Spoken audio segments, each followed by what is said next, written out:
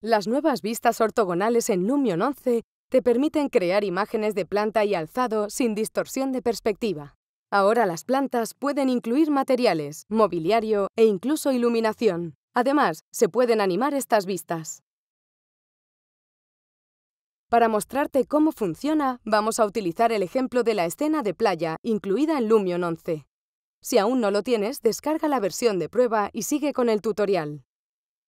Para utilizar el efecto de vistas ortogonales, empieza creando una imagen desde el ángulo que elijas y vea los efectos de cámara.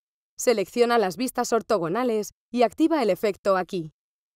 Verás que aparece una nueva barra bajo la ventana de previsualización. Esto te permite cambiar de la vista en perspectiva 3D a la vista ortogonal en 2D. Una vez estás en 2D, puedes ajustar el zoom con el deslizador o la rueda del ratón. Ajusta la orientación con los deslizadores de rotación. Esta rotación cambia con incrementos de 45 grados, lo que facilita alinear la imagen al diseño del edificio si este es paralelo a los ejes en el programa de modelado y mientras no lo hayas rotado en Lumion. El deslizador de rotación en vertical se ajusta a 0, 35,3 y 90 grados. Para ajustar la rotación de forma manual, Mantén pulsado el botón derecho y mueve el ratón para orbitar alrededor del punto focal. Para hacer ajustes más precisos utilizando los deslizadores, pulsa la tecla Shift mientras arrastras el deslizador a izquierda o derecha. Las teclas de movimiento de cámara también se pueden usar para ajustar la vista. En este tutorial vamos a crear una planta, así que lo primero que necesitamos es ocultar la cubierta. Podemos colocar el objeto de cubierta en su propia capa y encenderla o apagarla con el efecto de visibilidad de capas. Pero si no es un objeto independiente, podemos hacerlo utilizando el deslizador de plano de corte cercano. Se genera la vista cortando algunos objetos, empezando por los más cercanos a la cámara. Si se ve todo borroso, es porque hemos cortado el suelo.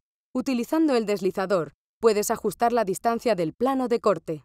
El plano de corte lejano corta los objetos empezando por los más alejados de la cámara. Para verlos en acción, vamos a llevar el ángulo de inclinación a 0 grados.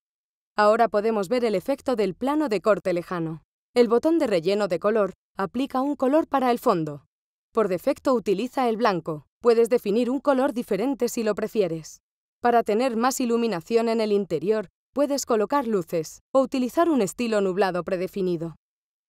El efecto de planos también puede ser útil cuando creas renders de plantas.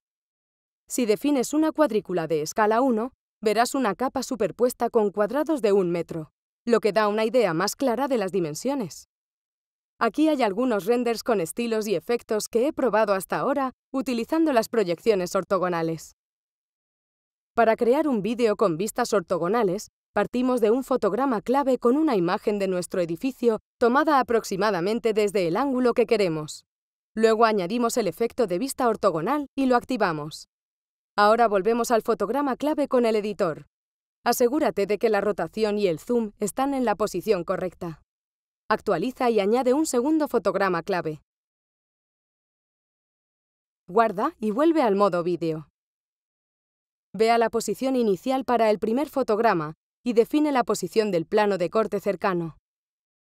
Muévete a la segunda posición, por ejemplo a dos segundos, y define la posición del segundo plano de corte. Ahora ya tenemos una animación de planos de corte a través de la cubierta. Para edificios con varias plantas, esta animación es incluso más interesante, ya que te permite mostrar el diseño de cada planta una por una. Vamos a hacer un último ejemplo. Vuelve al editor de vídeo, mueve la cámara a la izquierda y añade dos fotogramas más.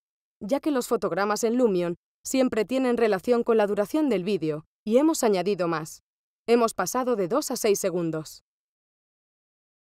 Tenemos que borrarlo y volver a definir 2 segundos. Para cortar también estas cubiertas más bajas, añadiremos un plano de corte cercano aquí y aquí, y definiremos la distancia del último a la posición justo debajo de la cubierta.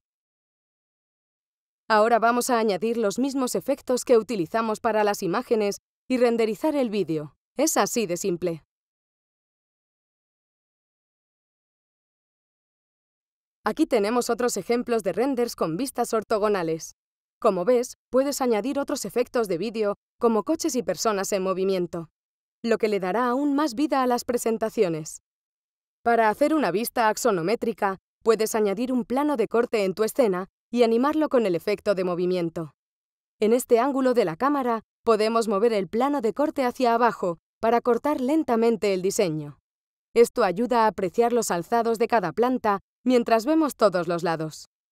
Déjanos tus comentarios sobre este nuevo efecto y nos vemos en el próximo tutorial.